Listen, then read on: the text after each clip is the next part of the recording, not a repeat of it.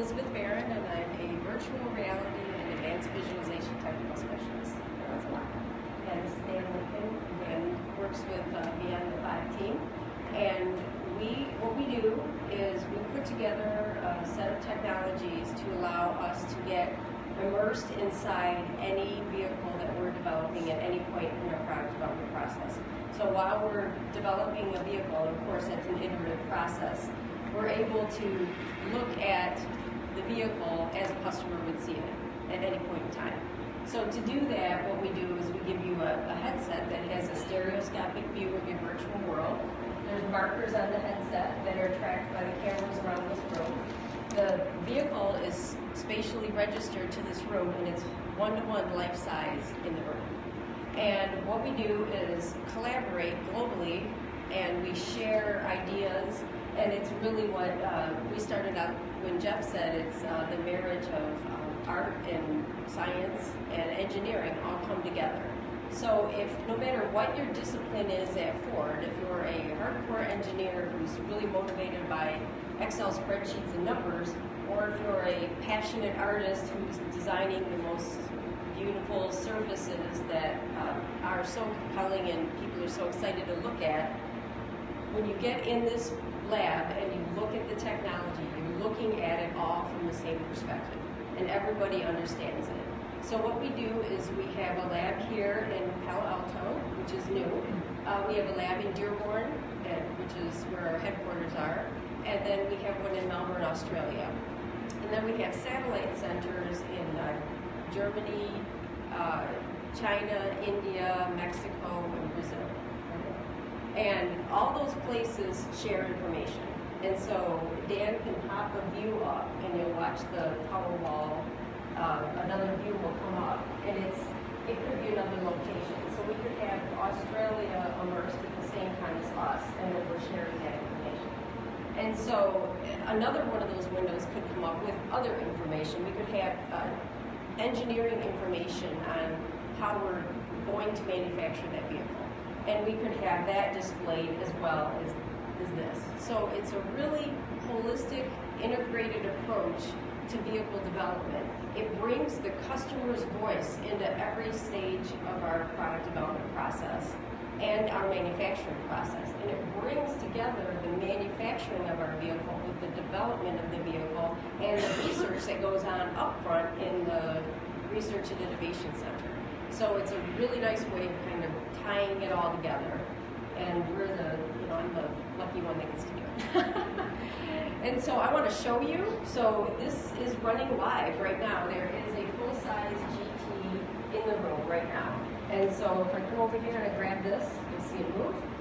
And so through here, it's real time, and on this screen, we we slow it and smooth it so that for as an audience member, it's hard to look through somebody's eyes in real time. It's, it's we just want to make sure that the experience is nice and smooth. So I wear this, and it's a stereoscopic view of my world. Sorry about, you know, I might have to take a little bit. I'm going to show it to you guys. So I'm seeing the GT, and you see what I see through here. And I have tools for my world. So this is a pointer and a flashlight, and if I shine this light, it shines the light on the vehicle. So watch the pointer. So this is the rear of the vehicle, and it is life size. This is, know, this is where the edge is, right here. Look down, and Dan opened the door. So can you toggle that, Dan? See how the door will go down and up. So we, in our vehicle development process, we'll open and close every interface. We'll look at everything. We'll understand the fit and finish, the manufacturability, and the design. Okay, so you want to close that door for a second? Or just want to go to the front? Okay, so sorry. I just want you to see it is a life-size vehicle. So I this is the front. We've pushed it back, like normally in the room we would move it forward because there's no sense, but to fit everybody. And so now I can get inside the vehicle. And open the door. And so now I'm registered to the inside of the GT. So if I look down at my seat and I put this flashlight on the seat, even though it's not the exact seat, it's spatially registered, so you can kind of tell that, you know, I'm where I should be with respect to the vehicle. And then I can look around and look at the different areas of the vehicle, the climate and the power center and the command center interface. And then another important aspect is looking at visibility. So we use this technology to assess what a person would see when they're driving. And so it's important to understand up vision, so what you would see, like if you pulled up to a light, and could you see the stoplight? And then what we call down vision, which is looking over the hood. And then uh, obstructions, potentially, at the pillars, which are those, you know, the pillars that come down with the glasses. And so we look at all these things, and then we consider the craftsmanship of the vehicle and how, like, the vents are on the side integrated with the door and how it fits together when it's closed. And the, the look of the steering wheel and the you know the powerful feeling that you get when you look at it because it just looks so awesome. And so we look at the quality of the vehicle and the perceived quality and then we'll also do some engineering work. So Dan can turn on uh, the sectioning and I, I'm controlling it with this pointer and I can section through the vehicle and so now I'm looking at the GT and I'm, you know, it's disappearing and coming back. But the, the point of this is the data that we're looking at is our engineered data with the design in it. So when we look at this data and we do real uh, vehicle development studies, we'll have an engine and a powertrain and a, a complete model. And this is a lot of data to produce in real time and show you live and collaborate around the world. So, yeah, oh, switch the, that's cool, Dan. So we just switch the sides. And so what he's showing is you can, we can look at any axis. We have tons of flexibility, so we have this great ability to sh show the vehicle in a ton of different ways really quick. So we can look at different times of day, different options, um, all kinds of stuff in a half hour. And where else could you do that? So it's a really efficient, effective way of communicating where we're at and how we're uh, like reaching our milestones and what we need to do next. So that's it. All right, you guys have any questions?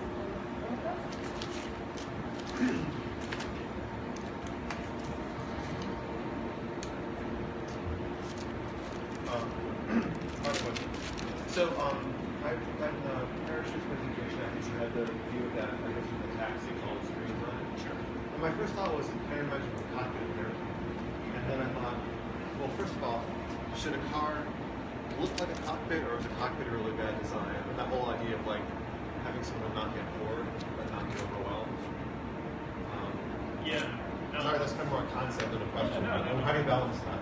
Sure. It's uh, and you know we balance it differently across different vehicles. Mm-hmm. Um, in particular, you know with the GT, I think you've got these zones of kind of regions of functionality, and there's a whole lot going on on the steering wheel, right? So personally of interest, there's going to be a lot going. There's a lot of interest there, particularly that um, driver type.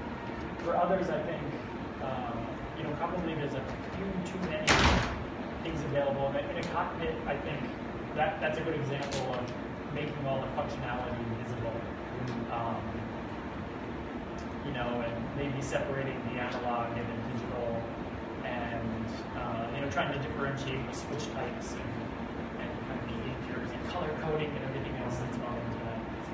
Uh, I think, you know, we, we can't go to that extreme, although we have maybe almost as many features and functions. and, you know, I think, again, as a brand, how we choose to uh, distribute functions and content um, is important, I think.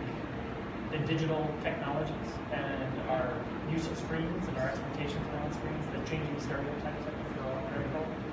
Um, so I don't think we actually lose any of the features or functions by even lessening the fuzzes. Uh, but we have new means and methods of you know maybe presenting information when it's needed, or you know just being more contextually relevant also, right? So um, particularly with driver's assistance, and I think as we move towards autonomy and semi-autonomy and things like that, when you start to feel the vehicle intervening on your behalf, you know it's a really different sensation. But it's you know even manually usually it kind of and uh, affect those things that we could, you know, we introduce machine intelligence and a new kind of dialogue of what the car can do and what it senses versus what you would do as a human. How do you control? That's a really good point. And what I would add to that is, you know, if you look at what I take away from that picture, so when you look at that, that's what that driver felt that he needed, right, to do all the things that he wanted to do. And then our challenge is how do we how do we use technology to to to rationalize all of that, right? Um, I mean, he didn't have the solution that he needed, right? So he took a lot of screens and pasted them around his car, and we look at that and say that's probably not ideal. But how do we apply technologies like machine intelligence, like advanced interfaces, to give him what he needs, but to do it in a way that's more compatible with driving? Any other questions? Uh, just one follow-up. Did you said that you would design it differently depending on the car or the driver, like performance cars, or so you would have more data? I sure if I understood that right. Um, sure. I think you know we, we find people kind of long they just behave differently in vehicles, and there's such a diversity. And we find people that want to be extremely productive, um, and we find people that want to they use their in-car time as kind of their time to connect with others. Right? Going to go through my task list. I'm going to make a lot of phone calls. We find people that just want to be purely entertained and they want to kind of clear their mind. You know, I've had a long day. I don't want to have to think about work. I just want to clear my mind and have some me time, you know, and reset as I travel, right? So accommodating all those variations, I think, is what's what's the challenging piece, right? To be flexible, to Jeff's point, of not having them to have to bring in everything in the parts and pieces. But that said, you know, if, if we have multiple passengers in an Explorer, or uh, we're you know, it's a fleet vehicle, more popular, you know, transit connect or something like that, versus just to get around town Fiesta versus a high performance vehicle. You know, the drivers behave differently, they kind of have different expectations, they probably live different lifestyles, and again, those those kind of socio and economic and lifestyle oriented things we try to reflect in, in layouts and in functionality. But we also try to choose what we think is the best, you know, and the, the most efficient way. Right. And you can change dynamically. dynamically also. You talk about like the track mode versus the main mode. Sure. There will be more Okay, great, great. Just a quick question. Uh, I'm sure that there's a difference in lifestyle between buyers and so your vehicle line executives. For instance, a, a Lincoln MKZ, whatever, uh, buyer is probably looking for different things in technology and entertainment than the Focus GT buyer. Just a guess on my part. You know, and, and then this car, you know, we, I would assume that it's more of a infotainment minimalist structure assuming that the car itself has plenty of entertainment.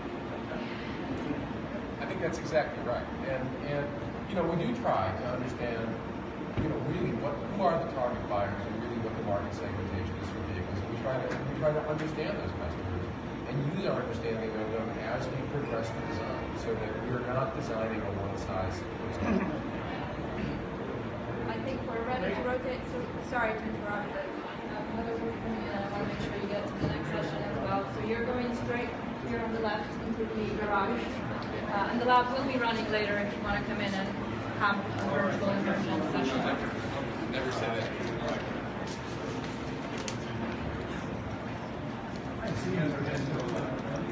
Pretty cool stuff. See you guys later. Yeah.